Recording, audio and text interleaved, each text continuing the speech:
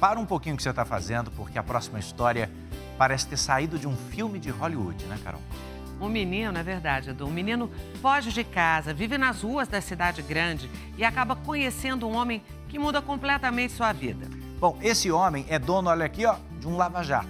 Ele dá emprego, ajuda o rapaz que estuda, se forma, vira advogado. Anos depois, quando eles já não se falavam mais, um reencontro inesperado com um final que vai deixar você, ó, emocionado. A rodoviária de Fortaleza é cenário para muitas emoções, de sonhos, da fuga de uma situação de angústia. Quando eu tinha sete anos de idade, eu morava no interior do Maranhão e meus pais eles se separaram. E as brigas começaram, né? Minha com meu pai, minha com a minha madrasta. E aí meu pai me manda de volta para minha mãe, e minha mãe me manda de volta para meu pai. Mas em vez de Sérgio ir da casa da mãe, no Pará, para a casa do pai, no Maranhão, Sérgio deu um jeito de ir parar em Fortaleza. Ele tinha 12 anos e o ano era 2002. Sozinho, foi morar na rodoviária de Fortaleza. Foram dias duros para um menino que não tinha para onde ir. É, dormir nas calçadas, usar papelão como cobertor. Ele ganhava dinheiro fazendo muitas coisas. Limpava mesmo os para-brisa na esperança de ganhar uma moedinha. Ó, família. Obrigado, amigo. Tinha um anjo observando o menino de longe. Eu olhei e aí veio diretamente na minha mente. Rapaz, esse menino não pode estar na rua.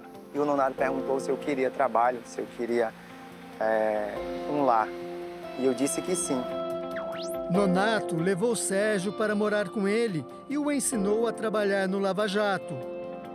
Foi uma convivência de cinco anos. A casa que a gente morava era aqui, ó. Eu, Nonato, a esposa dele, os três filhos. Era aqui que a gente trabalhava e que a gente morava também. Mas seu Nonato se separou da mulher e mudou-se para Juazeiro do Norte, Sérgio ficou, comprou uma moto e começou a fazer entregas. Foram muitos quilômetros percorridos até que Sérgio pudesse realizar um sonho, o de voltar a estudar. Isso só aconteceu 20 anos depois dele ter saído de casa. Sérgio encarou o desafio e, num prazo de seis anos, concluiu o ensino fundamental, terminou o ensino médio e depois passou no vestibular tudo que eu passei na vida me levou a escolher o direito.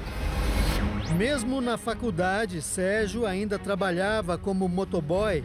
Aproveitava qualquer lugar para estudar, qualquer momento para aprender o que precisava.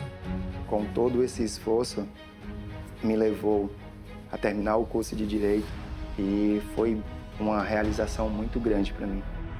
Depois de 17 anos, as vidas do seu Raimundo Nonato e do advogado Sérgio Chaves se cruzaram novamente. Eles se acharam pelas redes sociais, justamente no momento em que seu Nonato mais precisava de ajuda. Estava respondendo na justiça por dirigir embriagado. Fui atendido na mesma hora, ele disse: Eu vou toda hora. Não terminou de eu deixar de e aí, Sérgio? Ele disse, não, estou indo. e tá ali, naquele tribunal, sendo advogado de defesa do homem que me tirou das ruas, é algo que, que eu nunca vou esquecer. E o Nonato continuará, continuará com, com o réu primário dele, voltará tudo como era antes. Eu nunca disse isso para ele assim, mas Obrigado, Donato. Obrigado, digo eu. Estar perto de vocês aqui. O que tu fez por mim, é, eu nunca vou esquecer.